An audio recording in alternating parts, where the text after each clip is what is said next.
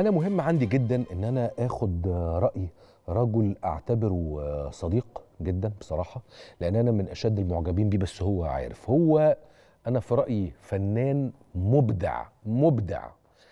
الفنان والنجم نضال الشافعي. أهلا أهلا أهلا. حبيبي وأخويا وصديقي حبيبي. أستاذنا الكبير يوسف الحسين. أهو أنت يا أستاذ؟ الأساتذة. وازاي جمهورك الكريم ويا رب يجعلها أيام خير علينا جميعا يا رب. اللهم آمين. الله. نتمنى انت تكون بخير يا نضال. الحمد لله الحمد لله. نضال أنا مهم عندي إن أنا آه، أسمع قرايتك للمشهد الانتخابي لأن أنا عارف ومتأكد 100% أنت آه، نموذج أو من مدرسة ال- ال- ال- الفن ومدرسة الوعي في نفس الوقت وعندك وجهات نظر.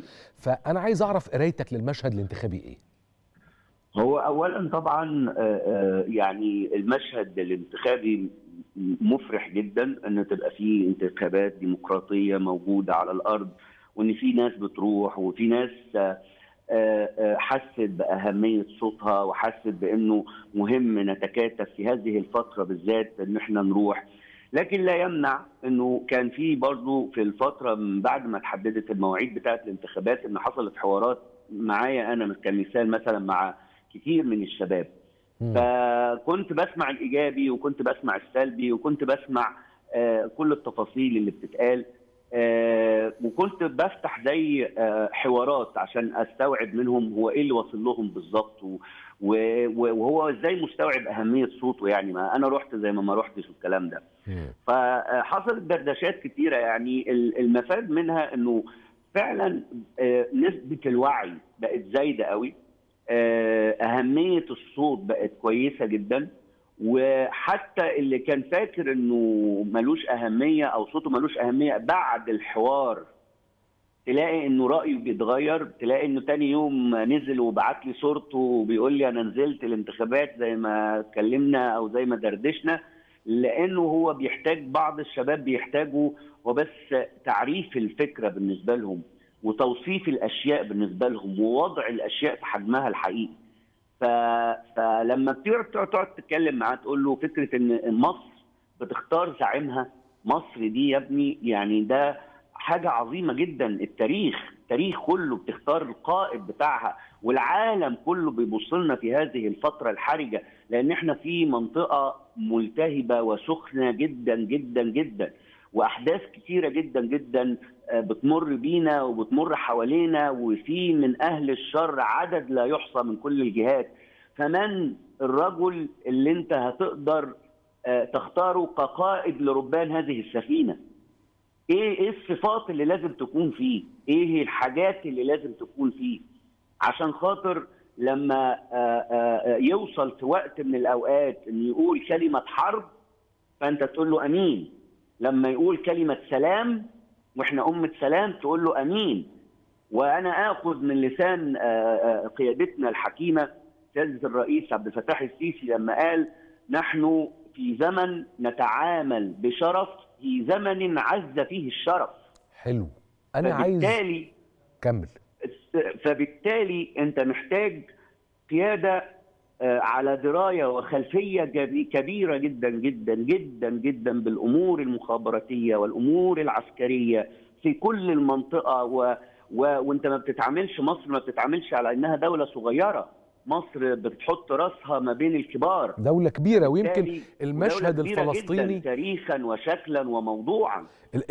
المشهد الفلسطيني اتفضل. كان ليه دلالته. يعني أنا مش عايز اقطعك أنا على لا، النقطة اللي أنت. بتقولها إن مصر دولة كبيرة جدا في المنطقة وليها صوت كبير ومفهوم وتقيل ومؤثر في العالم. وليها وليها كمان يعني أكمل. كلامك وليها جيش كبير. صح. لو ما كانش القيادة حكيمة يعني هي عشان جيشها كبير وقوتها عظيمة خلاص؟ ما ممكن تخلي القيادة أحيانا تتهور ويخلي الشعوب تدفع ثمن هذا التهور. ولكن لحكمة القيادة ودي مهمة جدا جدا جدا برغم إن عندك القوة التي تستطيع بها إن أنت آه، آه، تضرب على يد أي حد آه، تسوي له نفسه إنه يقرب من مصر وعندك هذه القدرة ولكن هناك أيضا حكمة وهذه الحكمة مهمة جدا جدا جدا في الظروف الحرجة طب نضال بتشوف ف- ف- فهو أعتقد يعني من قي... أنا آسف خالص، لمقاطعتك يعني بس أنا خالص. بتكلم بحماسة كده أنا آسف لا بالعكس يعني. ده أنا أنا مبسوط بهذا ف- الحماس وعلشان كده كنت عايز أكمل معاك الأسئلة بمعنى إنه المشهد الأخير على الأراضي الفلسطينية من 7 أكتوبر ولحد دلوقتي وفي نفس. الوقت يرافقه لأنه جزء منه أو جزء من فلسطين جزء مننا لا نعتبرها إنها طبعاً، مجرد طبعاً. دولة مجاورة. إحنا من أكثر الشعوب اللي راوت أرض فلسطين بدمها. تشوف بقى وده- إنه المواقف أو الموقف المصري موقف الدولة المصرية الدولة كلها مؤسساتها يا بكفاح شعبها بإعلامها. لحضرتك حاجة. آه، آه، آه، مصر من يوم ما ربنا خلقها على وجه الأرض وهي تعتبر من وجهة نظري الشخصية يمكن تكون شهادتي مجروحة عشان أنا مصري هي حارس العالم. هي حامي العالم. ها. يعني ب ب ب ب وده مكتوب بحروف من نور في التاريخ المصري. يعني لما تيجي تشوف إنه الهكسوس تخيلوا إن هم دخلوا مصر وقعدوا 300 سنة مش هيخرجوا عشان بعض الناس أهل الشر بتوع اليومين دول فاكرين ال 75 سنة دول آه، كتير يعني إحنا خلاص كده ثبتنا آه. قعدوا 300 سنة وجي أحمس خرجهم. ودي قضية آه، يعني آه، ده احرف من نور التتار التتار اللي كان تقريبا آسيا وكان أجزاء كتير وكان داخل على أوروبا وكان داخل صحيح. على أفريقيا من الحارس الأمين اللي مصر. قدر يحمي الإسلام والمسيحية واليهودية والعالم كله وقف في عين جالوت آه، وقف قدام التتار ووقف التتار عند حدهم ورجعهم ورجعهم لحدودهم تاني. تخيل لو ما كانتش مصر حجر العصرة توجه التتار. كان إيه اللي حصل؟ ما أعتقدش كان بقى ما فيه كانش العالم هيبقى مرسوم بالشكل ده. أوروبا ولا طبعاً. زي زي زي ولا أي حاجة. لأن دول ده دول لما أقول لك إن هم التتار دول على وجه التحديد لما كانوا بيلبسوا كانوا بيلبسوا ماسكات وكانوا بيلبسوا جلود الدببة عشان يبانوا إن هم مخلوقات مرعبة. آه. كانوا قدام الناس يخوفوا الناس. للسيطره على عقولهم والحرب النفسية. هل الموقف المصري تقف لهم. هل آه، الموقف آه، عندك بقى حاجات كتير إلى أن نصل لما حدث في آه،. آه، آه، لما طعنت مصر في ظهرها في آه. 67 وتخيلوا أن مصر سوف تركع ولكنها لم تركع ولكن بدماء بدماء شهدائها وقفت على رجلها تاني في حروب الاستنزاف. ثم كانت الصفعة اللي اتردت مرتين في 73 آه، آه، آه، مصر قائدها ما ينفعش يكون قائد مش ملم بكل الأمور في هذه المنطقة الملتهبة وبالتاريخ نفسه. مصر عندنا مثلا الفكرة اللي حضرتك أنا آسف إن أنا طولت عليك خالص بالعكس. لكن لكن إحنا في ال- في الظروف اللي بتمر بيها المنطقة دلوقتي من الم- المأساة المأساة المروعة اللي موجودة في آه، غزة عند أهلنا في غزة و- و- و- و- والتعنت الفظيع من أهل الشر بكل ما تحمله الكلمة من تعنت ويعني مش عايز أقول ألفاظ يعني آه، تبقى آه، يعني ما بحبش أنطقها آه، حفاظا على يعني طبعاً. جرح الأذن ولكن في النهاية هم ناس ما عندهمش قلب دول ناس حتى فكرة المصلحة آه، حاجة طيب الموقف شيء- الموقف المصري يا نضال الموقف المصري. يستفزوك على طول. طيب بكل الطرق بيحاول. وعايز أقول لحضرتك حاجة معلش أنا آسف يا يوسف أنا آسف يعني آه، آه، أنا. فاكر إنه سيادة الرئيس كان دايما لما بيطلع في المؤتمرات بعد بقى 2013 وبتاع و14 وكنت بتابع مؤتمر الشباب دايما وهو كان بيتكلم كان دايما في عز ما الدنيا كانت ملخبطة والناس مش واخدة بالها وكله بيجري على على أكل عيشه ولا كله بيجري على اللي هو بيعمله كان دايما يقول لنا عدونا واحد. صح. خلي بالكوا عدونا واحد. صح.